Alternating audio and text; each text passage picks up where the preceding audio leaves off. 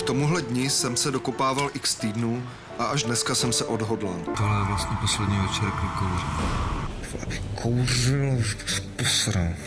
Jak se díváte na to, že u nás ročně 18 tisíc lidí zemře na následky kouření? Já se k tomuhle vyjadřovat nebudu. Vy opravdu myslíte, že kuřáci jsou oběti? Je to jejich svobodné rozhodnutí. Já vás vyzývám, abyste opustil budovu. Jinak co? Espresso a cigareta v podstatě obsahují všechny potřebné živiny pro člověka. Dobrou chuť.